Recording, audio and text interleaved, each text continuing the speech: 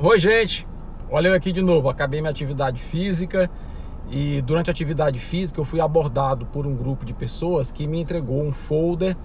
Eu dei uma lida no folder enquanto caminhava, que fala da importância da saúde mental.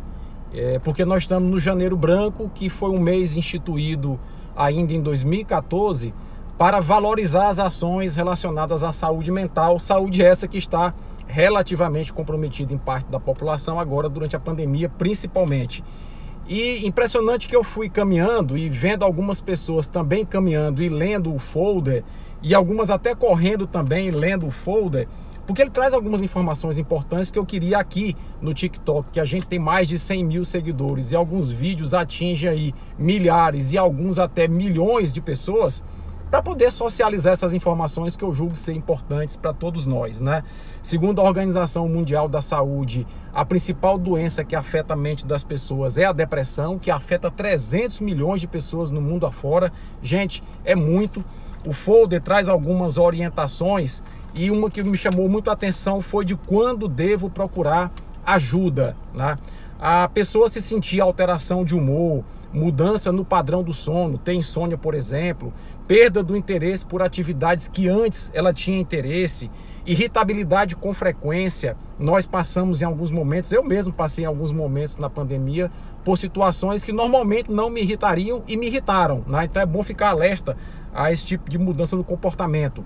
Mudança no apetite, dificuldade de concentração, problema no relacionamento com outras pessoas são alguns indícios de se acumulados você deve procurar apoio. Né?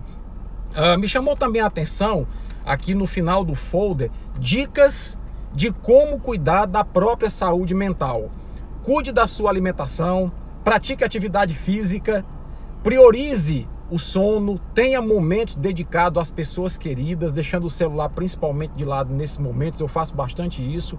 Reserve um tempo para o seu lazer, esteja em contato com a natureza, desenvolva a sua fé, conheça a si mesmo para permitir que você identifique alguns sinais de alteração na sua saúde mental e permita-se sentir.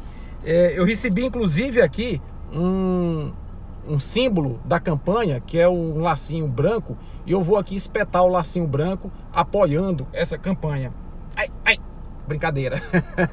Bom humor também faz parte de uma boa preservação da saúde mental. Compartilhe esse vídeo, observe essas dicas. No momento da pandemia tem sido muito difícil nós mantermos a saúde mental, mas basicamente nos conhecendo e nos ajudando, conseguiremos.